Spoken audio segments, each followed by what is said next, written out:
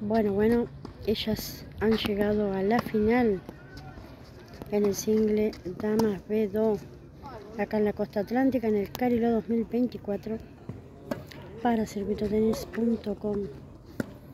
Fantástica jornada fue este segundo día. Final de single Damas B2 en la cancha número 1 de tenis Orange en Carilo.